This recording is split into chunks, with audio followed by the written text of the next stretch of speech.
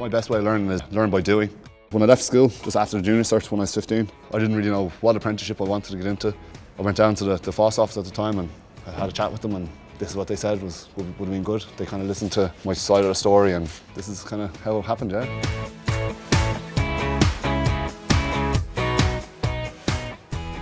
Speed and accuracy is the is the key points, I suppose. And that's what you pick up when you're off on the site. And after four years, you shouldn't be too bad at laying brick. A couple of years after I was, was into my trade, I, was, uh, I started doing competitions. So it was apprenticeship competitions. And I won the national skills for Ireland in bricklaying. And then after that, then I got into the world skills. We went abroad to, to Germany, which was an unbelievable experience. Like, you're pitted against, I think it was nearly 30 different countries. Didn't come first that one, unfortunately, but fourth wasn't too bad. It doesn't take great strength around and the strength comes, you know, as long as you're able to keep going and that's about the hardest part.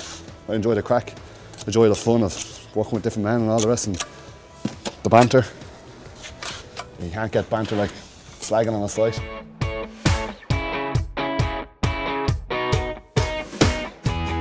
There two years ago I decided to, it was a bit kind of, it was quite enough at working. We, I was only maybe working four days a week rather than five or six that we're doing now. So I said I'll go back to college um, and I spoke to some of my old lecturers in Bolton Street. They suggested to get into site management part-time. So you could still work and you're still honing your skills but you're doing it at night and you're doing slightly different. That's the big, the big thing that I'm doing now. Kind of organising the subcontractors and stuff like that. Getting them in on time and making sure the projects run smoothly. And then I suppose liaising with the customers, the clients, the different architects and engineers that to be on the site. The bricklaying apprenticeship, it's just a different type of uh, education. It has uh, shaped my life. It's done wonders for me. I've done, I wouldn't do, I wouldn't do half the things without it. It's a brilliant, uh, brilliant start for me. I definitely recommend it.